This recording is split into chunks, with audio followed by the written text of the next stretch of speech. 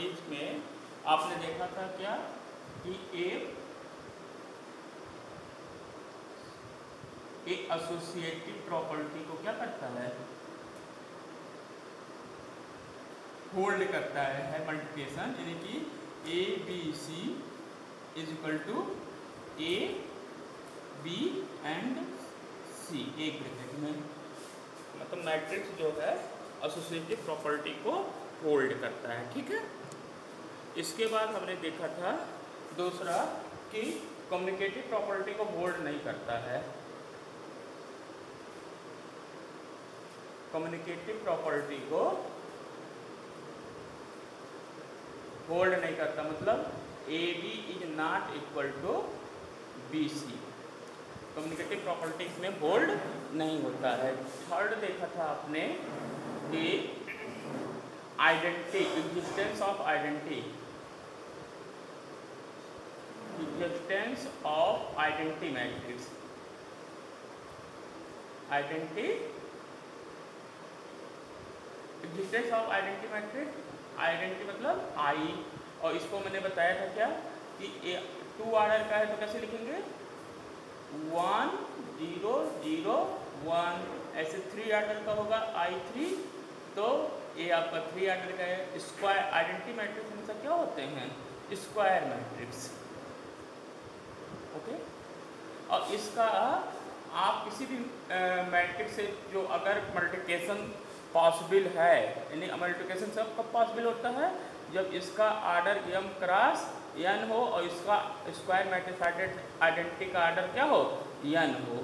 तभी तो N N cancel होगा। तो इसकी वैल्यू क्या आ जाएगी? ए या आई इंटू ए ए आपका पास पॉसिबल तो ए कब पॉसिबल होगा। यानी कि इसका भी आर्डर क्या हो जाएगा? ए सेम आइडेंटिटी कब एग्जिस्ट होगा। आपका स्क्वायर मैट्रिक्स के साथ आइडेंटिटी का मैट्रिक्स का मल्टीप्लिकेशन करेंगे तो हमेशा क्या आ जाएगा? वही मैट्रिक्स सकता है। तो आई जो है आई को आप क्या रिप्रेजेंट करते हैं? I is identity matrix I क्या है आपका? आइडेंटिटी मैट्रिक्स और ए कैसा होना चाहिए स्क्वायर मैट्रिक्स का। आइडेंटिटी किसके साथ यूज़ होगा? स्क्वायर मैट्रिक्स साथ। क्यों? बाकी के साथ करेंगे तो इधर आपका कम्युनिकेटिव प्रॉपर्टी होल्ड नहीं करेगा तो आइडेंटिटी के लिए एक स्क्वायर मैट्रिक्स होना चाहिए, तभी आइडेंटिटी होल्ड करेगा, ठीक है? फिर फोर्थ फोर्थ है, जब मान लो आपका स्क्वायर मैट्रिक्स के साथ आइडेंटिटी मैट्रिक्स का मल्टीप्लिकेशन वही आता है तो आई क्या है? आइडेंटिटी है। तो एग्जिस्टेंस ऑफ़ इनवर्स, अगला है existence of inverse matrix inverse matrix matrix let मान लीजिए B is inverse inverse matrix of A अब आपको हमने उसमें बताया था फ़ंक्शन में कि दो फ़ंक्शन एफ़ ओ जी कब इन्वर्स होते हैं। जब इनका कंपोजिशन क्या आ जाए? आइडेंटिटी आ जाए। हैं? तो आप कहते हैं क्या? G is inverse of F तो सेम प्रॉपर्टी यहाँ पे भी है।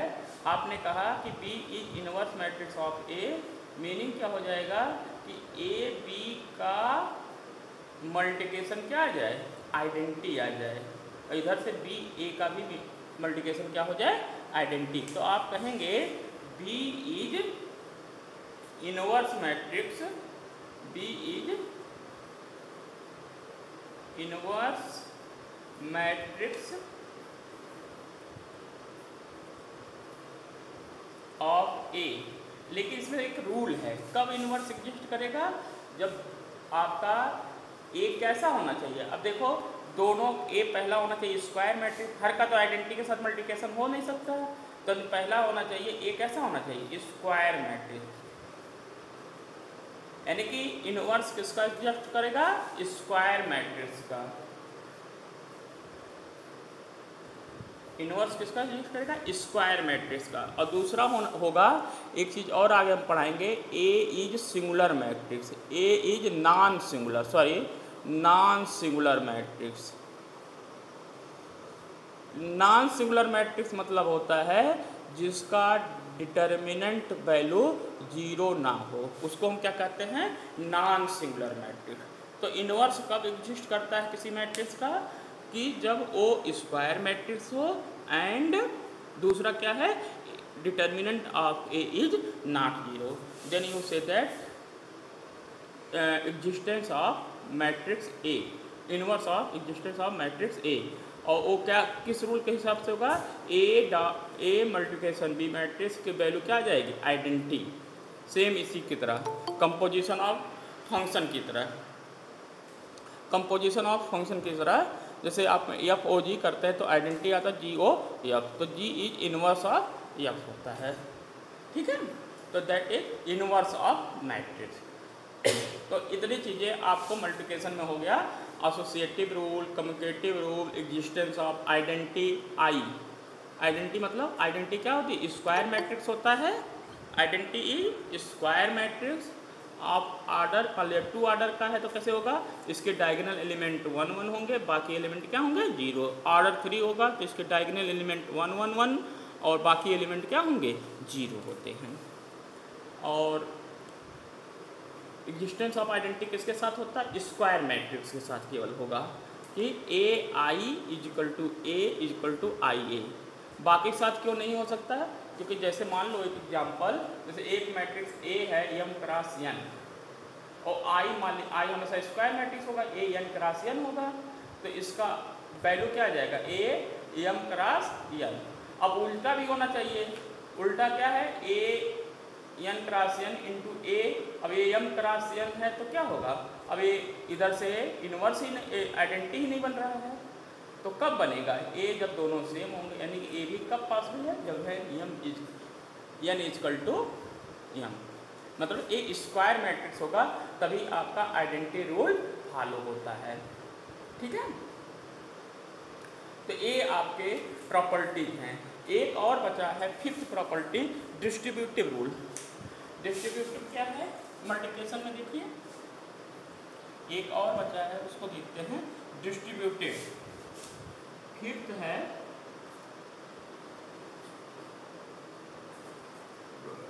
डिस्ट्रीब्यूटिव मल्टीप्लिकेशन ओवर एडिशन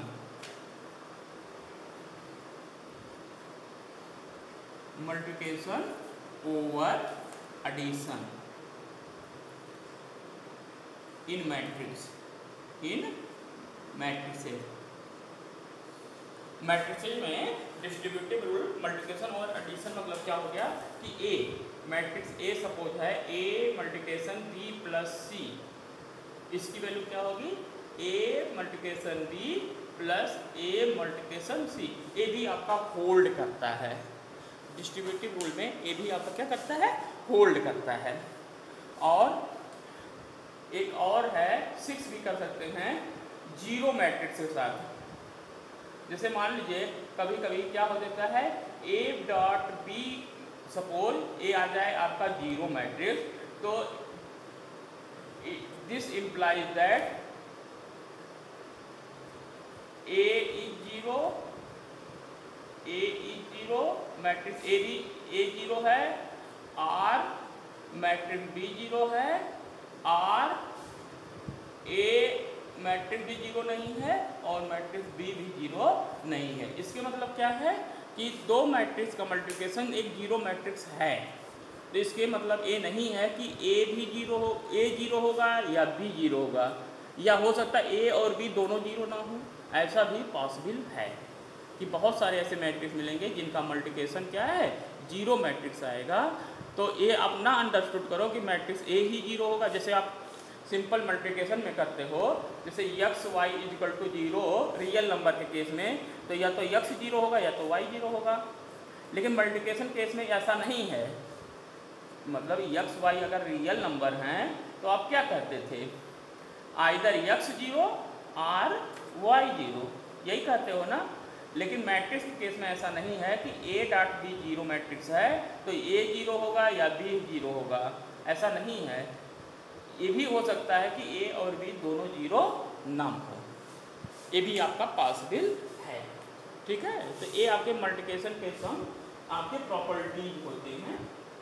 इनको आप थोड़ा सा ध्यान में रखिएगा। और उसके बाद एक क्वेश्चन करते हैं। एग्ज़ाम्पल नंबर 18 इसको समझिए। एग्ज़ाम्पल नंबर 18 एक इंपॉर्टेंट क्वेश्चन है आपके लिए। क्योंकि आपको बताए हैं कि इस चैप्टर में आपका एलिमेंट्री मैट्रिक्स जो है, वो क्या है आपको? इस बार सीबीएसई ने क्या किया इस साल के लिए? निकाल दिया है। तो मतलब आपको केवल यही तक सीखना है तो आप क्या करेंगे? इसको कायदे से सीखे रहिए कोई भी क्वेश्चन आपको आ जाएगा। एलिमेंट्री जो है ऑपरेशन जो है, इस बार आपके कोर्स में नहीं है। समझ में आ रहा है ना? तो जब इतना है तो आपको एक एक चीज़ छोटा छोटा चीज़ जान लेना चाहिए। तो एग्ज़ाम्पल 18 देखो, इसको समझने की कोशिश करो।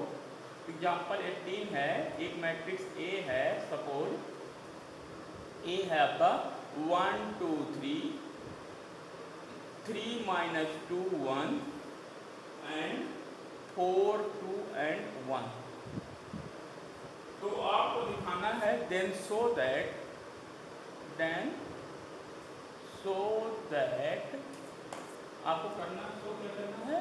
A cube minus twenty three A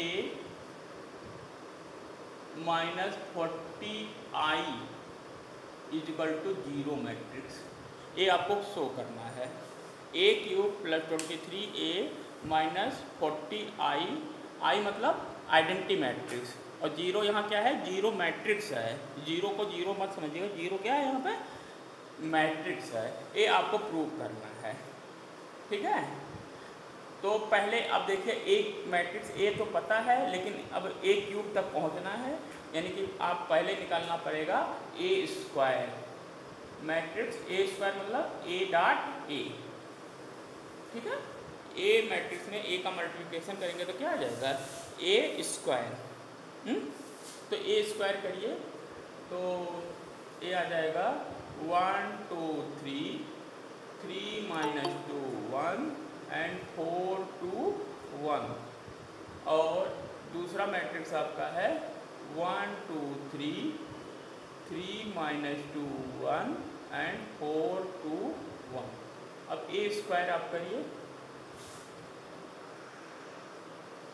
A square मतलब ए डॉट ए तो इनका मल्टीप्लिकेशन आप करेंगे तो चलिए करते हैं जल्दी जल्दी। यही कर तो टाइम नहीं है। तो ए आ जाएगा। बताए थे, याद करिए, पहले का क्या होता है? पहले का रो कैसे मल्टीप्लिकेशन पहले का रो और पहले का क्या करते हैं? कालम तो पहला कालम पहले रो का पहला कालम हो जाता है। ठीक है? तो ऐसे ही आपको करस्पॉन्डिंग मल्टीप्लिकेशन करना है। तो वन इंटू वन क्या हो जाएगा? वन टू इंटू थ्री क्या हो जाएगा? Six and three into four twelve पहला मल्टीप्लिकेशन हो गया, ठीक है? ऐसे ही अब दूसरा, दूसरे रो का सेकंड रो का फ़र्स्ट कॉलम से मल्टीप्लाई करेंगे तो सेकंड रो का फ़र्स्ट कॉलम लिखते हैं। बात समझ में आ रहा है ना? तो ये क्या आएगा? Three into one three, minus two into three क्या हो गया? Six, and one into four क्या इतना आ गया? फोर। ओके? फिर ऐसे थर्ड आप करेंगे। थर्ड जो है, आपका क्या है? ए वाला, फोर ए। थर्ड जो है इसका रो पहले कॉलम से करेंगे तो थर्ड पोजीशन पे इसके लिखेंगे। थर्ड रो का फ़र्स्ट कॉलम तो यानी कि four into one four two into three कितना हो जाएगा? सिक्स आ जाएगा। एंड वन इंटू फोर क्या हो गया? फोर ये पहला आपका कॉलम कंप्लीट हो गया। ऐसे ही ओके अब हम लोग इसको हटा दें अब। अब हम लोग दूसरे कालम पे सारे एलिमेंट का मल्टीप्लाई करेंगे सक्सेसफुली रो से। ठीक है? दूसरे कालम पे। तो दूसरे कालम पे करेंगे कैसे होगा? वन इंटू टू कितना हो गया? वन इंटू टू टू आ जाएगा। Two into minus two minus four and three into two क्या हो गया? सिक्स ठीक है, पहले रो का, दूसरे कॉलम से करेंगे तो दूसरे कॉलम का पहला रो। ऐसे दूसरा रो और दूसरा कॉलम लिखेंगे तो यहाँ, दूसरा कॉलम क्या? दूसरा रो। तो यानी कि three into two six minus two into minus two plus four and one into two क्या आ जाएगा? टू आ जाएगा। ऐसे फोर इंटू टू आपका एट हो गया। Two into minus two minus four and six into two आपका आ जाएगा ट्वेल्व ऐसे आपका थर्ड रो अब इसका हम चलेंगे किसमें? थर्ड रो में ऐसे मल्टीप्लिकेशन ठीक है? एक थर्ड रो वाला. ये इस पे. इस पे आप मल्टीप्लिकेशन करिए. तो आ जाएगा one into three three two into one two and three into one three अब थ्री से करके नाइन आ जाएगा. माइनस टू एंड वन ऐसे फोर से करेंगे twelve plus two and plus one ये आपका आ गया ए स्क्वायर इसको सॉल्व कर लीजिए। तो कितना आ जाएगा? इसको सॉल्व करेंगे तो आ जाएगा नाइनटीन अब देखिए नाइनटीन हो गया फोर आ जाएगा और एट आ जाएगा। फिर वन ट्वेल्व और एट आ जाएगा, और अगला क्या जाएगा? फोर्टीन सिक्स और फिफ्टीन आ जाएगा। ओके ए आ गया क्या? ए स्क्वायर मैट्रिक्स ए का स्क्वायर आ जाएगा। अब निकालेंगे आप A cube A cube matrix मतलब क्या होगा ए स्क्वायर डॉट ए भी लिख सकते हैं। ए स्क्वायर मीन्स क्या होगा? ए स्क्वायर डॉट ए तो फिर एक बार और करना पड़ेगा आपको। तो ये आ जाएगा nineteen four eight one twelve eight ठीक है? और फोर्टीन सिक्स और फिफ्टीन अब इसमें आप मल्टीप्लिकेशन करेंगे, फिर किससे ए से। ए क्या है आपका? वन टू थ्री और थ्री माइनस टू वन और फोर टू एंड वन ठीक है? अब इसका मल्टीप्लिकेशन करिए आप जल्दी से। यस तो इसका मल्टीप्लिकेशन आ जाएगा आपका। अब हम लोग डायरेक्ट जल्दी से कर देते हैं। नाइनटीन और ट्वेल्व तीन चौका बारह. तो इसका जल्दी से आप बताइए। सेम आप चलते रहिए तो ये आ जाएगा। आप मल्टीप्लिकेशन कर लेंगे तो ये आ जाएगा सिक्सटी थ्री फोर्टी सिक्स और sixty nine sixty nine minus six twenty three और नाइन्टी टू फोर्टी सिक्स और सिक्सटी थ्री आप मल्टीप्लिकेशन सेम करेंगे मतलब पहले रो पहला कॉलम तो यहाँ आ जाएगा। देखिए 19 आ जाएगा 19 में 19 आ जाएगा फोर में थ्री करेंगे 12 तो थर्टी वन हो गया, और एट में फोर का करेंगे थर्टी टू थर्टी वन और थर्टी टू मिल के सिक्सटी थ्री ऐसे सारे आपका ए आ जाएगा। तो ए स्क्वायर अब ए क्यूब आ गया, यानी ए फ़ंक्शन आ गया। अब सारी की वैल्यू उठा के इस इक्वेशन में आप सब्सटीट्यूट करेंगे। ठीक है? तो देखिए चलिए करते हैं कैसे। इसको हम स्क्वायर वाला मिटाते हैं और इसको इसी पे वैल्यू आप सब्सटीट्यूट करेंगे। ठीक है? तो आपका है A square A square matrix A cube matrix क्या आ गया? आपका आ गया sixty three forty six sixty nine sixty nine minus six twenty three two, forty six and sixty three that is A cube minus twenty three A A matrix आपका यही है। One two three three minus two one four two and one और minus forty identity जो आप लिखेंगे, इसी order का। देखिए थ्री आर्डर का है। तो आप थ्री आर्डर का ही आइडेंटिटी मैट्रिक्स लिखोगे। ठीक है? अब इनको प्रूव क्या करना है? आपको आर एच एस में उसी आर्डर का ज़ीरो मैट्रिक्स बनाना है। तो थ्री आर्डर का है तो थ्री आर्डर का आप एक क्या बना लेंगे? ज़ीरो मैट्रिक्स ये आपको एल एच एस से आर एच एस लाना है। तो चलिए आप L H S proof plus करते हैं सभी को।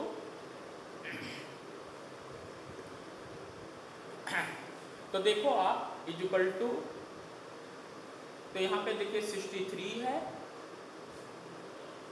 और यहाँ पे माइनस ट्वेंटी यहाँ माइनस सीधे हम कर रहे हैं माइनस ट्वेंटी थ्री आप लिख सकते हो और यहाँ माइनस फोर्टी आ जाएगा। ठीक है? ये पहला हमने प्लस कर दिया। ऐसे सिक्सटी नाइन यहाँ से आ, कितना आ जाएगा? सिक्सटी नाइन और माइनस सिक्सटी नाइन हो जाएगा। देखिए सिक्सटी नाइन और यहाँ पे आप करेंगे सिक्सटी नाइन और फोर्टी में यहाँ करेंगे प्लस ज़ीरो आ जाएगा। ओके थर्ड वाला करिए नाइन्टी टू यहाँ ट्वेंटी थ्री से करेंगे कितना आ जाएगा? तीन चौक का बारह, ये भी आ जाएगा माइनस नाइन्टी और फोर्टी में ज़ीरो करेंगे क्या आ जाएगा? प्लस ज़ीरो आ गया। ऐसे इसका करिए दूसरे का कालम का एलिमेंट का। पहला है फोर्टी सिक्स और ये हो जाएगा माइनस फोर्टी सिक्स और फोर्टी में इसका करेंगे प्लस ज़ीरो हो गया। यहाँ पे आ जाएगा ऐसे माइनस सिक्स और यहाँ पे आ जाएगा प्लस फोर्टी सिक्स आ जाएगा और माइनस फोर्टी आ जाएगा। भाई फोर्टी में वन का करेंगे क्या? आ जाएगा माइनस फोर्टी अगला है फोर्टी सिक्स अब देखिए टू में करेंगे तो आ जाएगा माइनस फोर्टी सिक्स और फोर्टी में ज़ीरो करेंगे प्लस ज़ीरो हो गया। ऐसे सिक्सटी नाइन इसमें करेंगे ट्वेंटी थ्री में करेंगे तो माइनस सिक्सटी नाइन और फोर्टी में ज़ीरो करेंगे क्या? आ जाएगा प्लस ज़ीरो आ गया। और इसमें करिए ट्वेंटी थ्री है। और यहाँ ट्वेंटी थ्री क्या होगा? माइनस ट्वेंटी थ्री हो जाएगा। और यहाँ फोर्टी का प्लस ज़ीरो है। ऐसे यहाँ पे आपका सिक्सटी थ्री है। यहाँ पे माइनस ट्वेंटी थ्री है। और फोर्टी में क्या आ जाएगा? माइनस फोर्टी आ जाएगा। ये आपका बना है। अब देखो ये कितना आ रहा है। देखिए ज़ीरो ज़ीरो आ रहा है कि नहीं आपको लाना था क्या zero zero zero zero zero zero zero zero zero लाना यही था तो देखिए पहला क्या आ गया ए भी ज़ीरो हो गया ए भी ज़ीरो हो गया ए भी सारे एलिमेंट देखिए आपको क्या हो गए ज़ीरो है ना और ए भी आपको लाना था zero zero zero zero zero zero zero zero zero तो मतलब L H S R H S है, यानी कि आप कहेंगे L H S is equal to R H S है तो यानी कि आपका ए जो है इक्वेशन सही है। इसको कहते हैं आइजन इक्वेशन आप आगे पढ़ेंगे तो आइजन इक्वेशन जो है, सही है। ठीक है? तो ये आपको प्रूव करना था। इसमें कोई डाउट बोलो? नहीं ना? इसके लेकिन हम यहाँ तक, इसलिए मैंने आपको कराया इसमें एक चीज़ और पूछते हैं, उसको भी आप देख लो। तो क्या पूछते हैं इसके बाद? ध्यान दो, यानी कि एल ए आपका इट इज़ ट्रू ओके कोई डाउट नहीं ना? फिर देखिए एक चीज़ एक चीज़ और पूछते हैं इसमें क्वेश्चन ध्यान दो, क्या पूछते हैं? इसको यहाँ तक मिटा देते हैं। यहाँ तक आपको मिटा देते हैं। ठीक है? इसमें एक क्वेश्चन और पूछते हैं।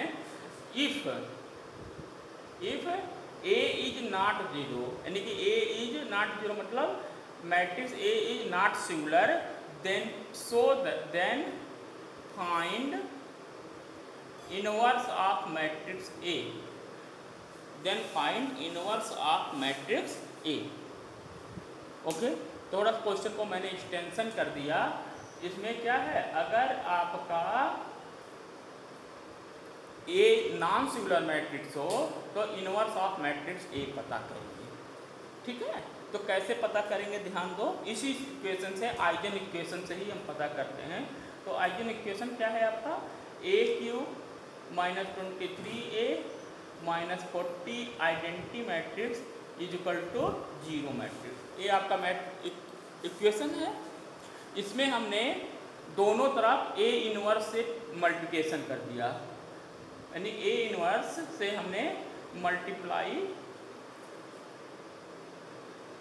multiplying both side both side हमने मैट्रिक्स ए इनवर्स से दोनों तरफ़ क्या कर दिया? मल्टीप्लाई कर दिया। तो A inverse into A cube पहला हो जाएगा minus twenty three A inverse into A आ जाएगा। ऐसे आ जाएगा minus forty A inverse into identity आ जाएगा। और इधर क्या आ जाएगा? A inverse into zero matrix ठीक है? अब देखिए, एक इनवर्स से करेंगे तो ये क्या आ जाएगा आपका? ए स्क्वायर आ जाएगा। ए आ जाएगा ट्वेंटी थ्री इनवर्स और ए मिलके क्या हो जाएँगे? आइडेंटिटी मैट्रिक्स भाई इनवर्स और ए मिलके क्या होता है? आइडेंटिटी आ जाता है। और ए कितना आ जाएगा? फोर्टी ए इनवर्स भाई आइडेंटिटी में किसी मैट्रिक्स का करेंगे तो वही आता है।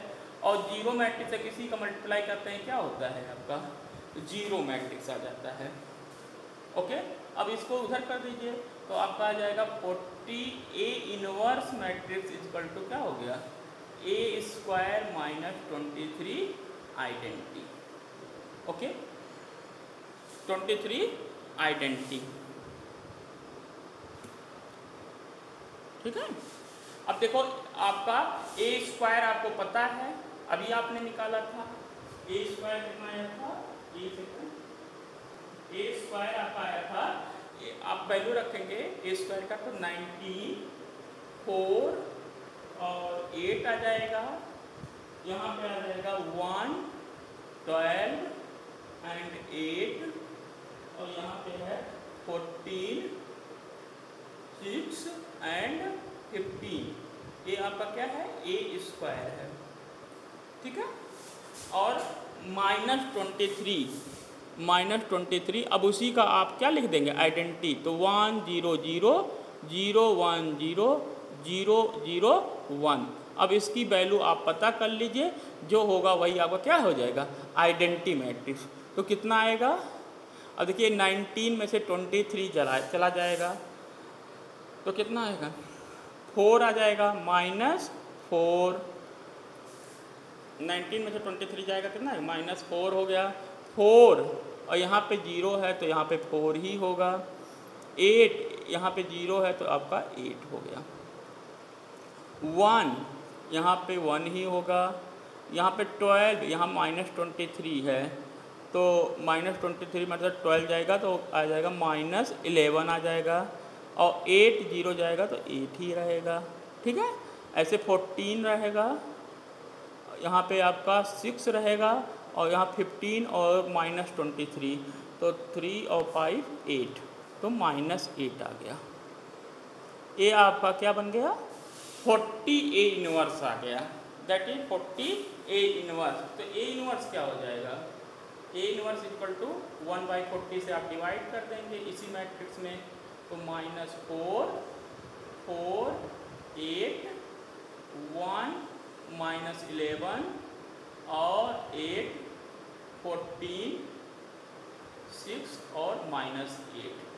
यही आपका क्या है? Inverse matrix one by forty से अंदर मल्टीप्लाई कर देंगे हर एलिमेंट में तो आपका इनवर्स मैट्रिक तो समझे? तो ये प्रोसेस है इस क्वेश्चन का। तो क्वेश्चन पूरा क्लियर हुआ ना आप लोग को? Yes yes. आगे बढ़ें। ये था आपका क्वेश्चन तो इस तरीके का क्वेश्चन भी आप लगा लेंगे। ठीक है? एक एग्ज़ाम्पल नंबर 19 देखिए। Example number 19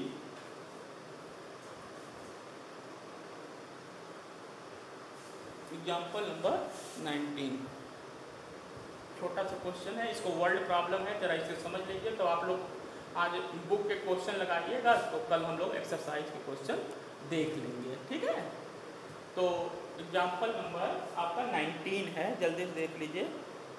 example 19 example number 19 देखिए, कह रहे हैं in a legislative assembly election political group hired a public relation firm to promote इस candidate in three way telephone house call and letter the call per contact is given in matrix A मतलब एक कह रहे हैं कि एक एक जो है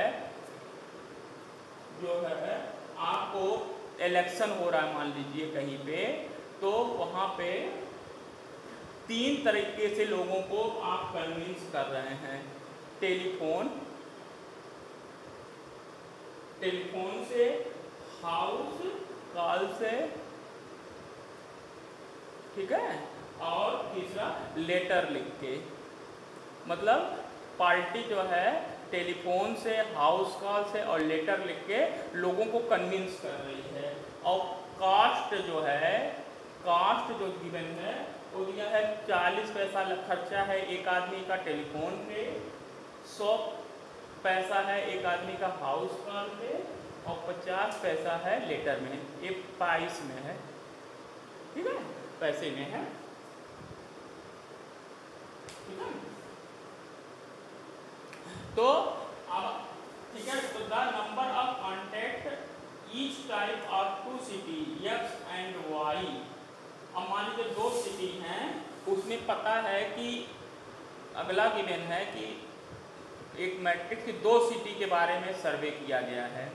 ठीक है? एक मान लीजिए सिटी यक्स है और दूसरा सिटी क्या है? वाइस है। यहाँ टेलीफोन वाले कितने हैं? हाउस कॉल वाले कितने हैं? और लेटर वाले कितने हैं? ये आपको पता है कि 1000 यक सिटी के लिए क्या हुआ? लेटर, टेलीफोन किए गए। 500 जो है हाउस कॉल किए गए।